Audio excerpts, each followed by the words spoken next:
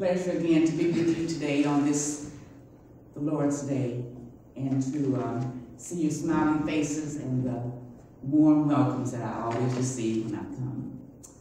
Let us pray. Eternal Father, we pray, God, that you will be among us on this day. As we come together, Lord, and gather in your house.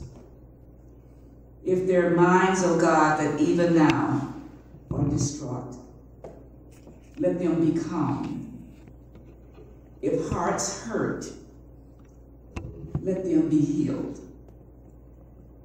And oh God, please, if there are souls that are stained,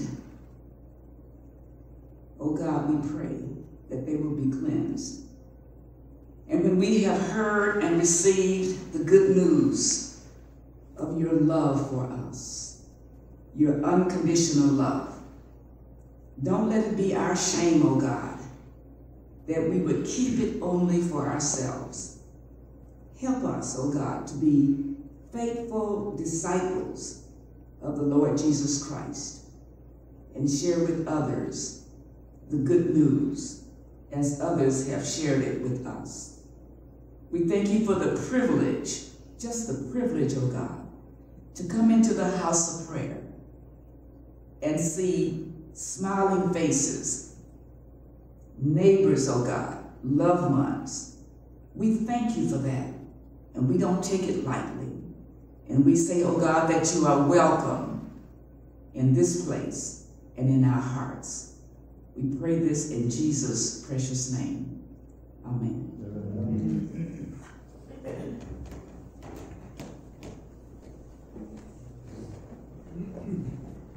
If you please stand, Jesus is all the world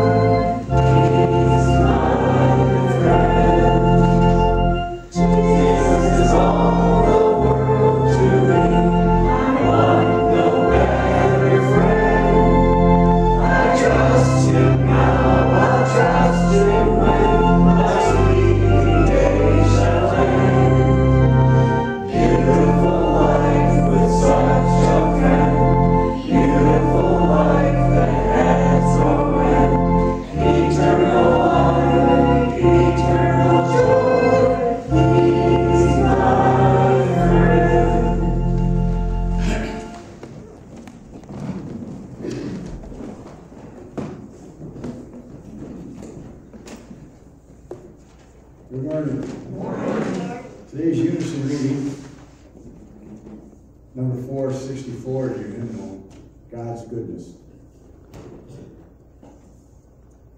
Oh, give thanks unto, unto the Lord, Lord, for he is good, for his mercy endureth forever. Let the redeemed of the Lord say so, whom he hath redeemed from the hand of the enemy that men would praise the Lord for his goodness, and for his wonderful works to the children of men. For he satisfieth the longing soul, and filleth the hungry soul with goodness.